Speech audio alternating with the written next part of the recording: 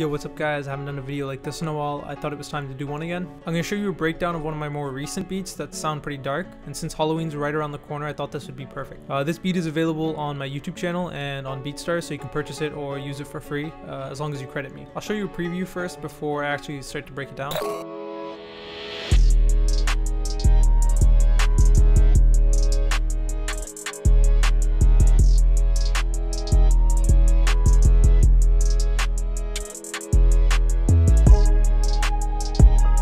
Also, I forgot to mention this, this melody is actually available in my loop kit. Uh, I send loops out every month. Uh, make sure you join the Discord server, which is also in the link below, uh, and you can get access to this. Alright, so the first thing I did was I made this piano melody in FL Keys, which is just the stock plugin.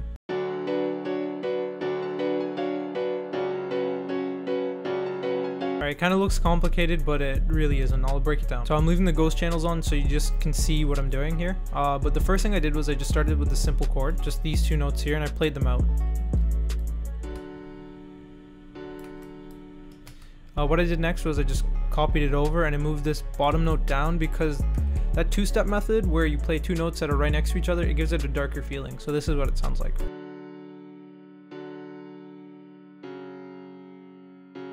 This method is used a lot in drill. Uh, so the next thing I did was I copied these root notes down and then I took these notes again and I copied them up. Uh, instead of letting these upper notes just play like this, I played them to a rhythm. So I shortened them down and then played them every every quarter bar. So this is what that sounds like. Now I came up with a kind of a repetitive melody at the top here. And the last thing I did was I made a top melody. Now, to keep that kind of creepy sound, uh, I had to stay within the two notes, and, within the scale, A and G sharp are right next to each other, and so are F and F sharp. So if you play just these four notes, it'll give it kind of a darker sound. So I ended up just coming up with this simple melody, uh, and then it's basically just this one melody that repeats itself. Pretty basic, no effects on this. Uh, I recorded it into Edison. Once I recorded it out in Edison, I reversed it and then I stretched it out so it was double the length. And this is what that sounds like.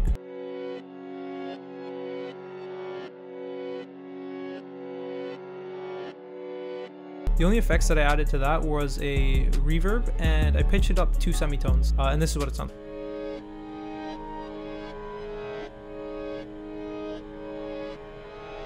The next thing I did was I loaded up Labs and I opened up the Soft Piano, which is a free plugin by the way. Uh, and then I basically tried to find the right notes within the scale uh, after shifting it that sounded fine. So I basically took the existing root notes and I just kind of copied them. But because it's reversed, you have to remember that the note, instead of going from a higher note to a lower note, it's now reversed. So it'll play out as a lower note to a higher note. And all I did was I just copied these up an octave and then I just kind of shifted this up an octave. So it's just messing around with the same notes in the scale, just shifting them up and down octave. And now I played this melody with the existing reversed melody just to see what sounds good and that's how I came up with this top layer here.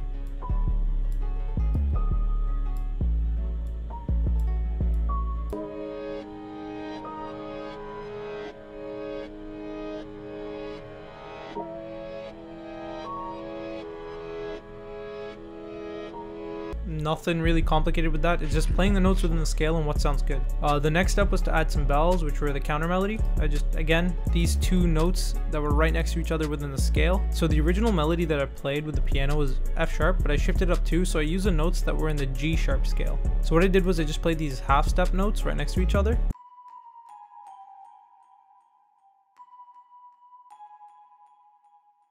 Uh, and then the last thing I added was this lead sound just to give it some background noise.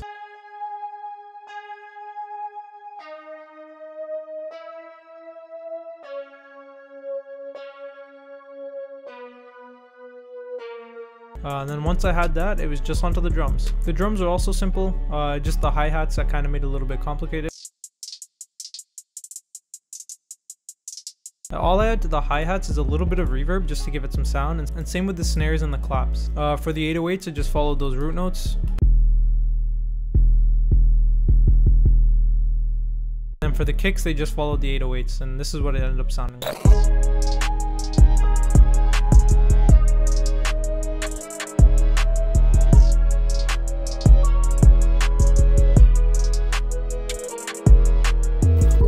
Effects on the master channel, all I do is I cut the lows and the highs at a certain point. I brick wall it and then add another EQ and then cut out some areas that need cutting and boost some areas that I feel like are kind of quiet.